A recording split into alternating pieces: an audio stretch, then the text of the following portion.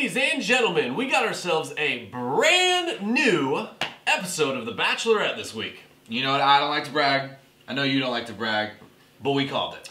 That there'd be a new episode this week, or No, Final Four. oh, Final Four. That's right. We put out our preview That's last right. week. Haters will say it's photoshopped, but we did not look at spoilers ahead of time. We just knew. I mean, it, really, if you have half a brain and two eyes, you would have known that Adam and Matt were the two guys going home tonight. Which jury's still out if we have either of those.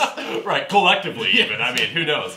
Uh, but uh, it was pretty obvious, and so we are left with a final four of Dean, Eric, uh, Peter, and Bryan, Yeah. which we saw coming from a mile away. So, of course, in case you didn't know, we are two bros to brick, where every week break down the who's, what's, if, ands, or But of Batch and Batch and H. So let's dive into week number seven. all right, so we start off by going to Switzerland, Mm-hmm. and Rachel, first order of biz, throwing out the playbook. There's gonna be no rose ceremony Yeah. at the end of the episode. None. She doesn't mean TBC. Right. She means no rose ceremony at all. Yeah, for once, not a TBC. Seriously. So she's gonna have three one-on-ones Mm-hmm. and a final three-on-one, where one of those guys is gonna take the final four spot. That's right. You know, technically she could not give a rose to one of the three one-on-ones, but Right.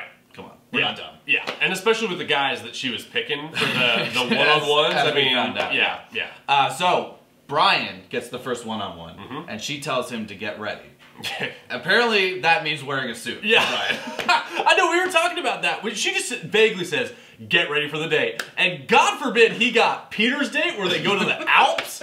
I mean, he's showing up in that three-piece suit like, He's just blue in the face, like holding Rachel. I'm ready. uh, so I don't know. I guess he just lucked out on that. Uh, yeah. So the first order of biz, Rachel pulls up to the scene with her ceiling missing. Right. In Yeah, a she sure fresh Bentley. That's right. Outside. Mhm. Bryan, like a gentleman, opens the door for her. Where do they go?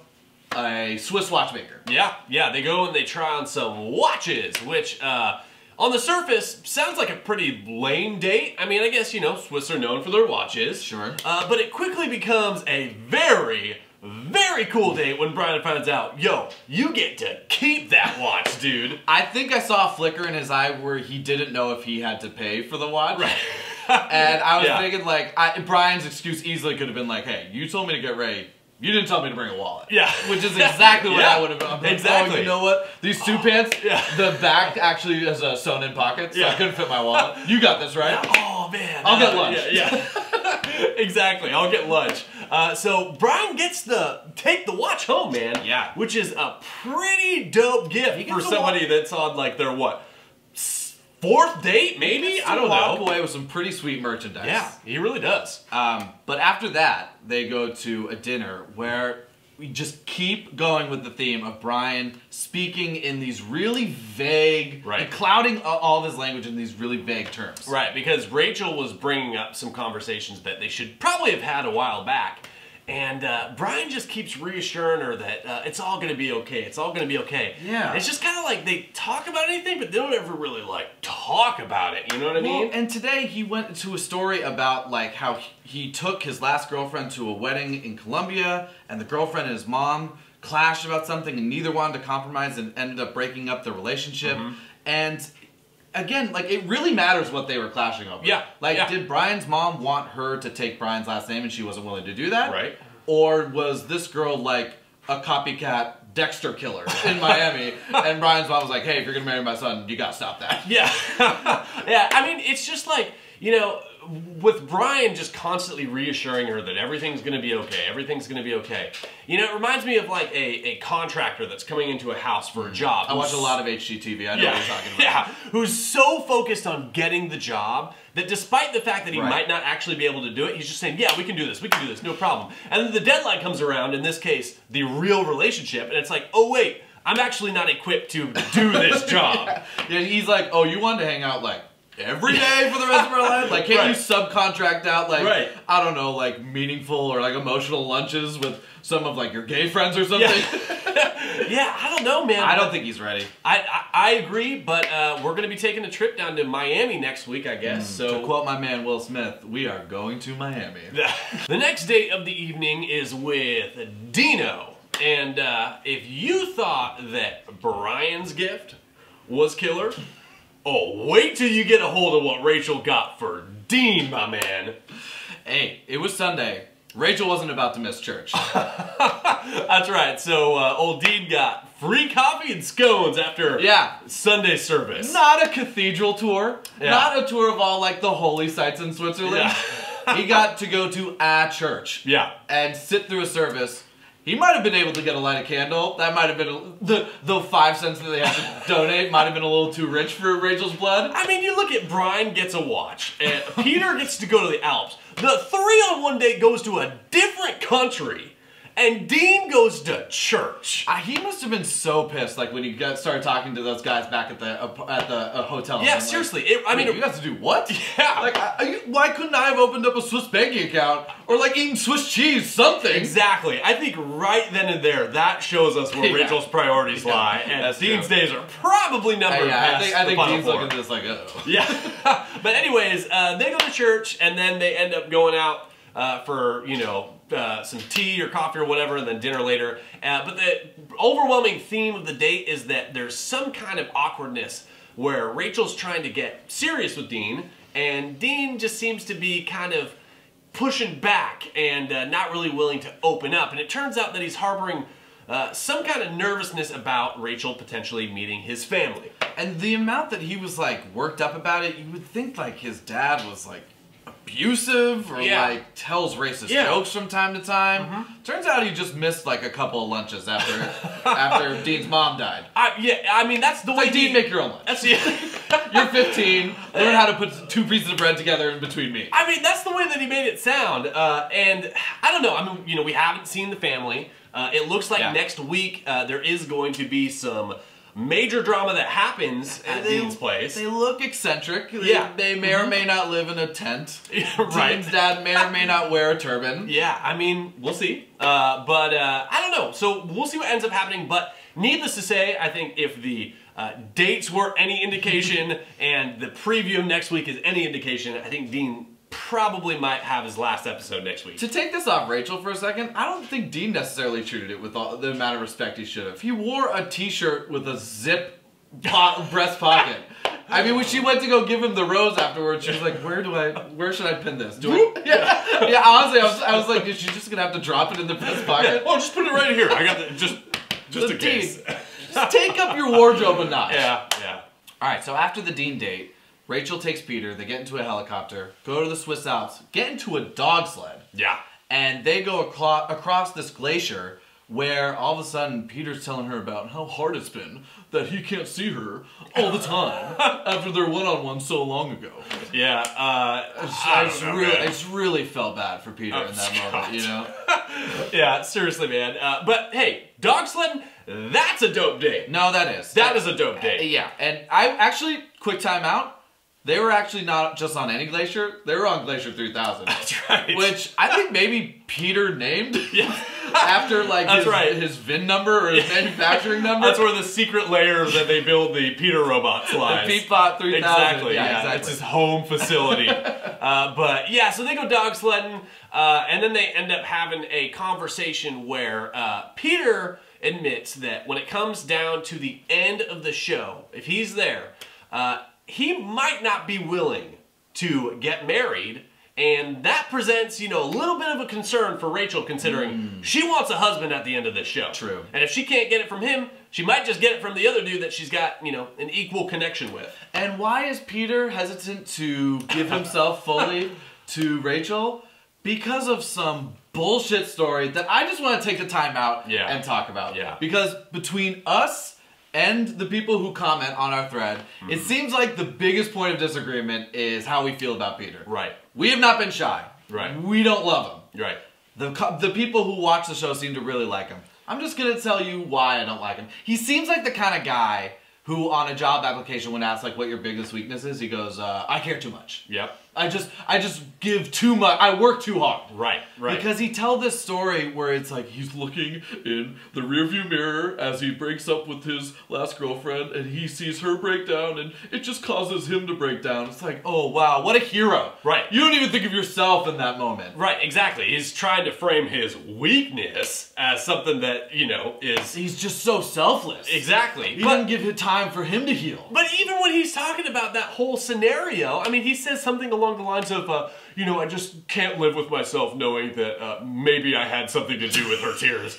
It's like, dude, you fucking think? I mean, you broke up with her. It's like no shit, you made her. I mean, God, it's like his his programmed algorithm was saying, "Be sympathetic, be sympathetic, be sympathetic." Right. And uh, I, I don't know, it just came off as super robotic. I know. There's there's a bug in his algorithm where he can't show emotion without it looking very staged. He has to do that. Well, even I mean, even the even the tears. I mean, did, were those real? I don't think so. Even the gulp was exaggerated. He was like, "Gulp." Yeah. Yes. Give me one second. I don't know, but uh, we're gonna see if the algorithm is gonna take him all the way to the top two, and uh, I kind of feel like it is, but we gotta we got a quick stop in Wisconsin next week first. Yeah. Which, according to the previews, I guess his mom and Nick Viall's mom go to the same barber. yeah, the only salon in Wisconsin I apparently. think you go in and you, as soon as you can get an AARP discount, Yeah. they give you just one haircut. Our fourth and final date of the evening is the big triple threat ladder match to the death. Uh, the three on one between Adam, Matt, and Eric. Yeah, and she Rachel does not waste any time. She gets down to business right away and Yeah. eliminates Matt? Question mark. That's his Which, name. yeah, which I mean, hold up, like who thought that that elimination was going to be so damn dramatic? Well, here's here's what I, I mean, thought. holy cow! I thought the same thing, and then I was like, or is she crying because she knows she has to pick one of them? no, dude, because because she literally told Matt, she said, "You remind me so much of myself." Which- Oh, what? Let's take her at her word, I guess, but we don't know.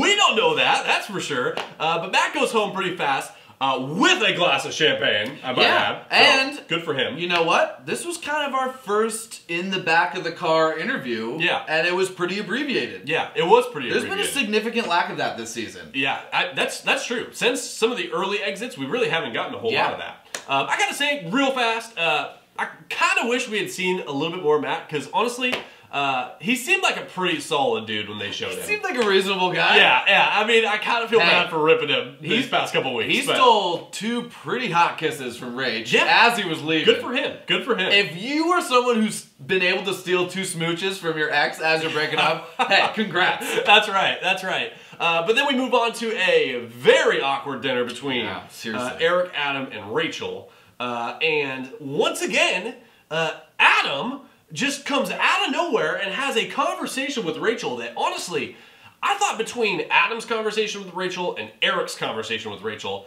Adam seemed to have the one that made more like progress, that got to Rachel a little bit better. Uh, Yes, even though we were starting with zero Yeah, with right, Adam. right. But Adam seemed to have trouble getting his head around accepting the word difficult. Yeah.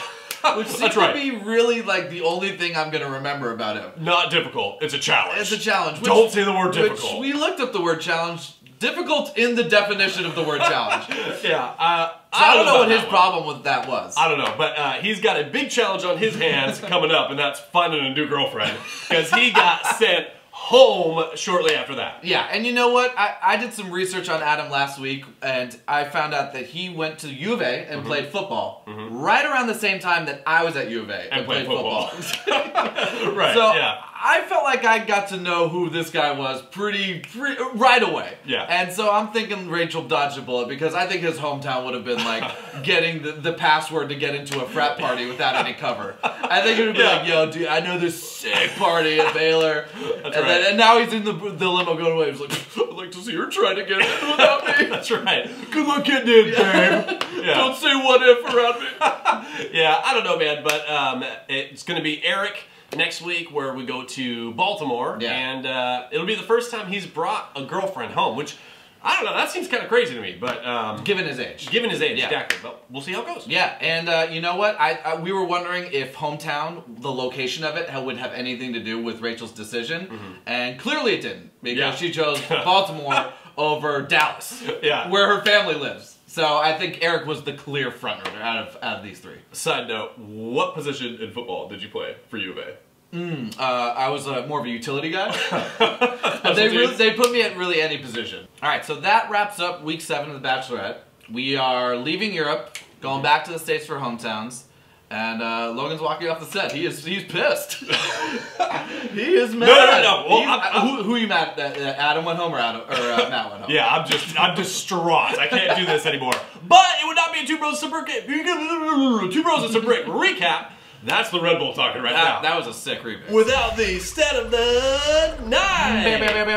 There we go. So we touched on this with Dean's date, but Mm-hmm. Dean seemed to get kind of screwed when it came to the uh, uh, total amount invested department of the dates. That's right. He Uh, got screwed for sure.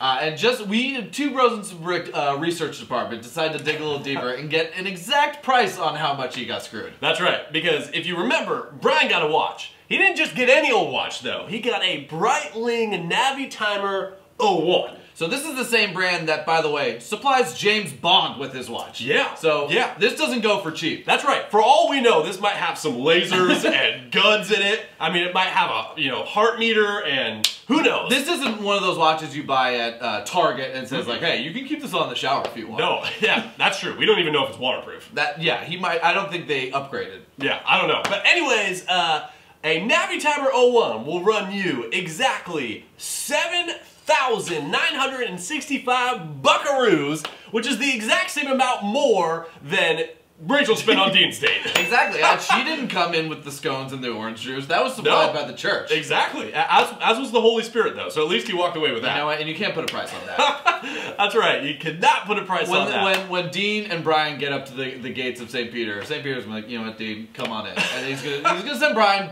pro- possibly to hell. I don't know, unless the Navitimer's got like a you know ticket to heaven in there or something. Okay, maybe, but you know what?